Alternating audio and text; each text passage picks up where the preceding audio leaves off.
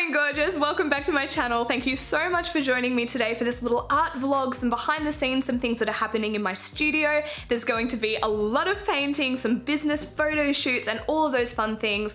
I'm gonna be discussing just some lifestyle stuff and tips for running your art business too. So I hope you enjoy and yeah, let's get on with the video. This painting is one of the biggest paintings I've ever made alongside the Birds Will Sing Our Song from the previous video and I wanted something that was really warm and fiery and just felt like passion but like you know the sigh of relief that you feel once you've like achieved that big thing that you're going for.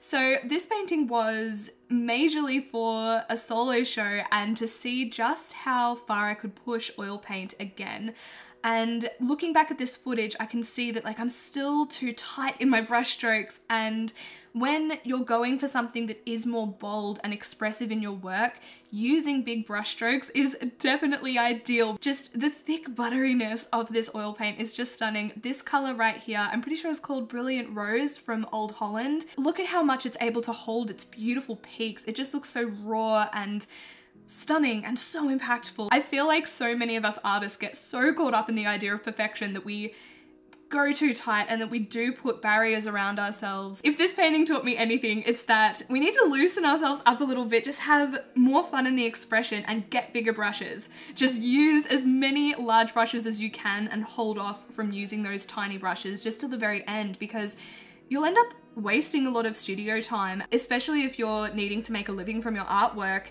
Studio time is really precious because running an art business does take a lot of time and energy. Sometime in October, I was working towards releasing a collection of originals, so there were lots of studies and sketches, but in doing that many studies, I realized just how important and crucial studies are to creating work that feels more organic and just you because without having the big pressure of having to create this like big perfect painting, you're able to actually lose yourself in the process a lot more. So it's always just a good reminder to lose ourselves in painting because, you know, just shutting off any thought or unnecessary words in our minds, it just gives us time to really just live in the moment and just exist which is beautiful and anything that we can do to help encourage that in our process is just really always welcome. And here I am adding the final touches of pollen bits to the original final Sweet as Dandelions and I loved that it wasn't just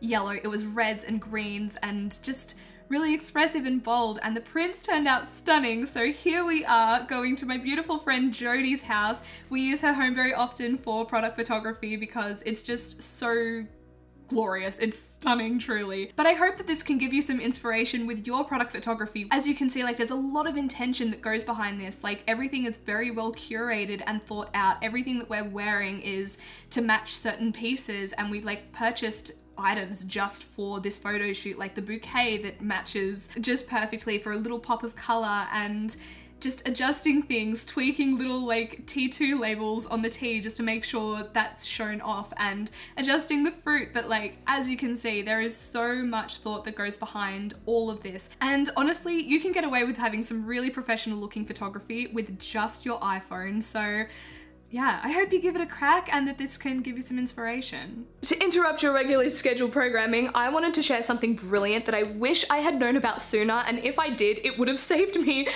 thousands of dollars and so much time, energy, and just effort. This is the Sony ZV-1. This is not sponsored. This is the most incredible camera I have ever used in my life, truly. How nice is that? Oh my god. Girl, this is right? nice. I know. Take a look.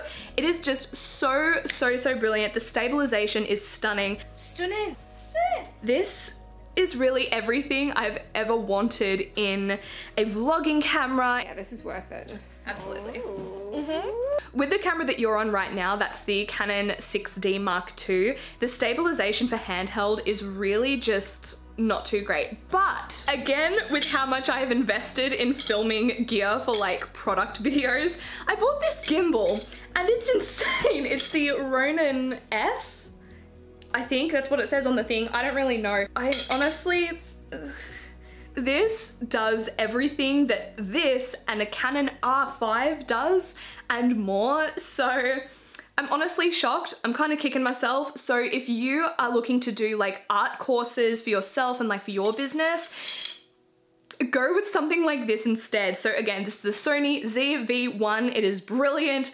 I swear by this camera now and I've had it for two days. you live and you learn, but yeah, if it can save you money, go with this instead because I, I, I don't even know how much money I've spent on filming gear that hasn't really worked for us and that isn't doing what this does.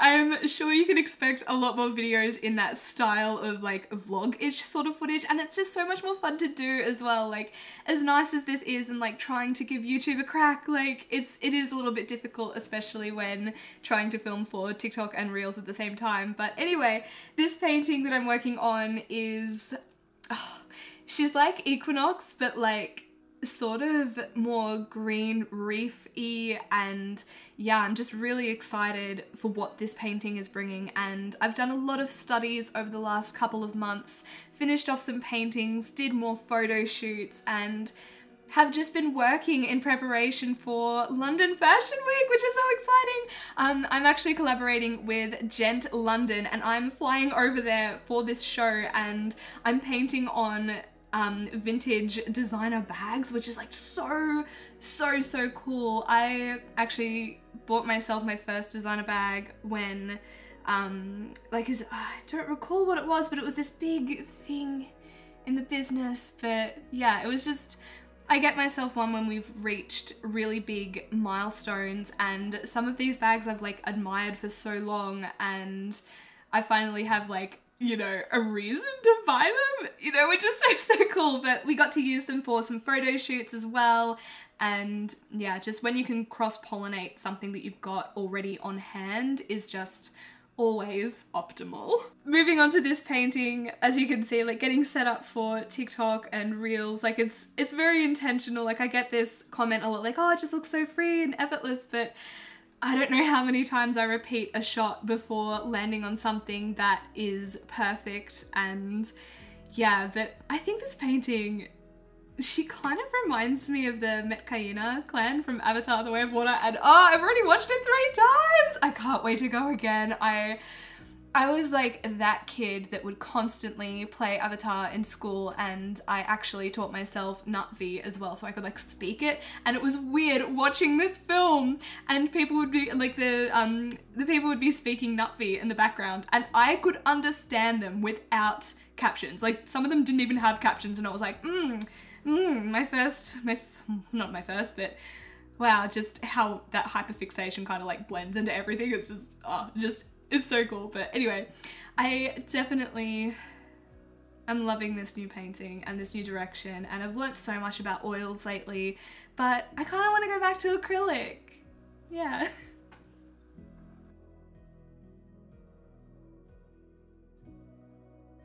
So I've sat on this painting for a couple of days now and the biggest thing that's kind of putting me off is this blue in the background. I think it needs to be a little bit more green yeah, maybe just a bit more dusty and sage-ish, I suppose. But the gold leaf looks really, really pretty. It might, like, I think it looks a little too yellow there, but all things that we can fix. And yeah, she's got a lot of work on her face to go, but this is a bit of an update.